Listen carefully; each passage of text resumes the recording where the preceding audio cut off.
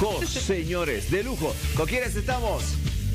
Ah, estamos con Panchito, Nube y Lluvia.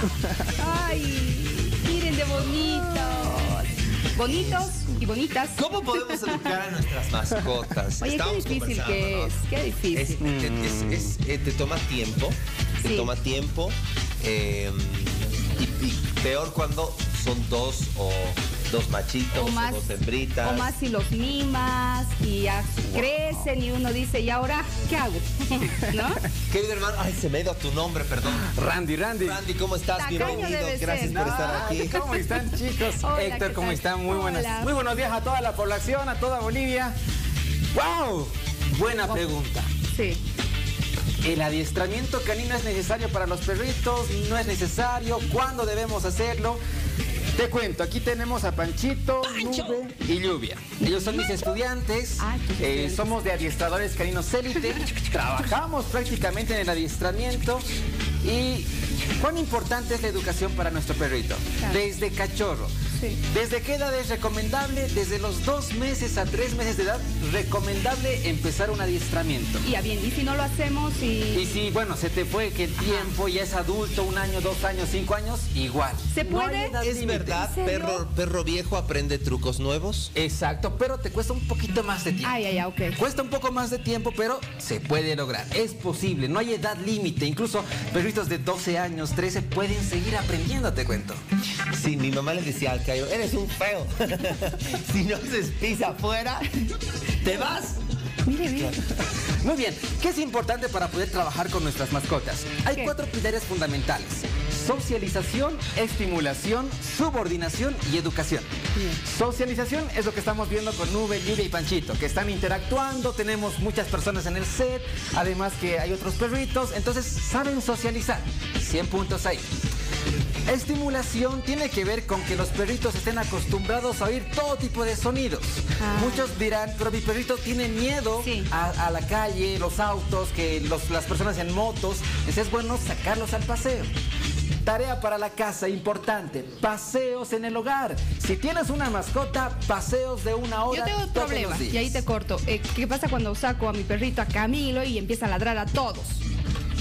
Y quiere pelear con todos. Entonces trabajamos tres tipos de, de socialización. No se olviden que los perritos exactamente se parecen a los dueños. Ah. O sea, tienen el carácter que el dueño tiene. No lo dije yo. Pero querías. Entonces, aquí viene. Sí.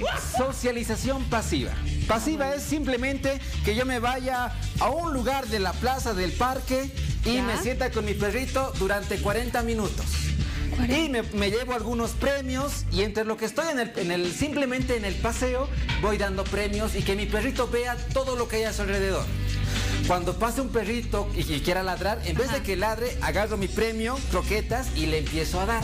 ¿No es bueno jalarles de la correa? Es una forma de corrección, Ya. pero vamos a trabajar ahora con premios. Ah, ya. O sea, el hecho de que te vuelvas interesante tú para tu perrito es la clave. Ah. Si ustedes no son interesantes para sus perritos, listos. y Van ya. a hacer lo que quieren. Yo soy rey, yo le doy premios, duerme en mi cama. No, se tampoco, vaya pues. conmigo. Regla principal para el hogar. Todos los privilegios que tienen en la casa les cortamos.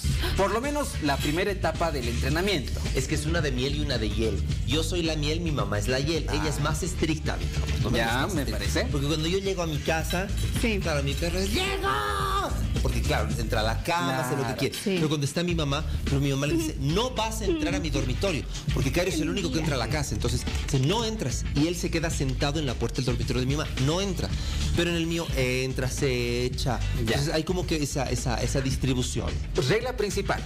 No premiar conductas ansiosas. A ver. ¿Qué significa esto? Cuando llegamos a la casa, abrimos la puerta y ¿cómo nos reciben todos los perritos? Uh, saltan. Alegres, están alegres, se, se emocionan, pero ¿qué pasa? Te saltan. Las- lo que pasa con Panchito, él es cachorrito, tiene cuatro meses y es súper alegre, emocionado. Estamos empezando recién con él el curso de adiestramiento, Eh. a diferencia de Nube y Lluvia. Entonces, Cuando llegamos a la casa, llegamos y no les damos atención.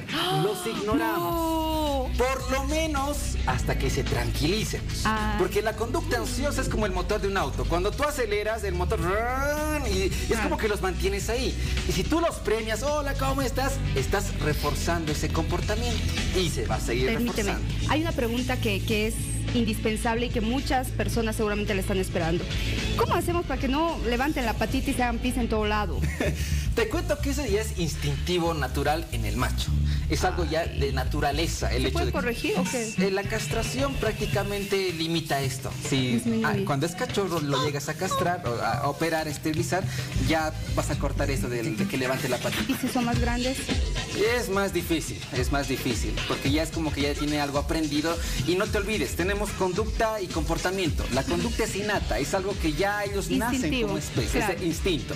Y el comportamiento es lo que se puede modificar. Era una discusión que teníamos con Vania, porque ella me decía, cuando llega donde los perritos, cuando van donde las... Las perritas. a- a- las perritas, digamos, ¿no? Entonces, como Es están en peor. celo, hace pis. Pero en el caso mío, por ejemplo, Cairo, es- Cairo no hace pis. O sea, Miguel, Porque no por les hace socializar con las perritas. Porque- pues. no, no, pues en realidad es que le hemos enseñado que en casa no tiene que hacer pis, ninguno de los dos. Exacto. No tiene que marcar territorio, no tiene que hacerlo. Entonces, Pero- ¿qué es lo que pasa?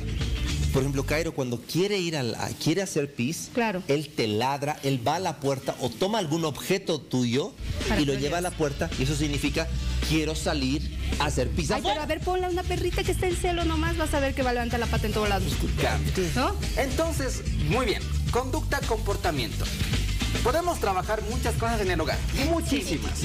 Y aquí están el tema de nuestras herramientas que yo traje para presentarles algunas herramientas de trabajo. Bien. ¿Qué es importante para nuestros perritos? Una buena correa, un buen collar. Y si trabajas con pechera, recomendación para la casa. Si tu perrito te jala en el paseo y si estás con pechera te jala, te recomiendo que empieces con collar.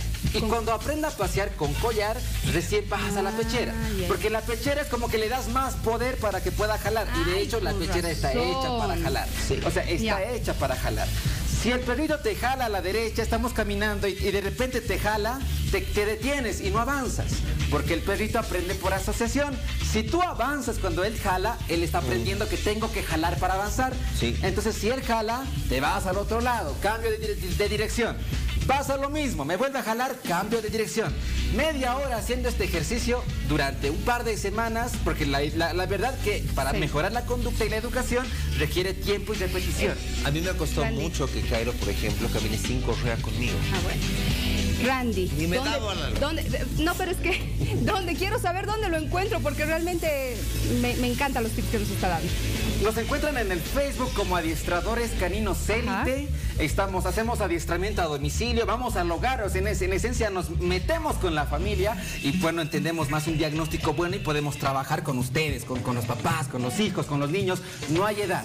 Eh, a mí me encuentran como Randy Durán, eh, punto élite, estoy en TikTok, estoy empezando igual ahí para dar consejos y tips en toda Bolivia. Eso. El número al que se pueden comunicar, el 6977-8020 para cualquier información, cualquier contacto y solamente una pequeña muestra por decir de lo que hacemos. Ya.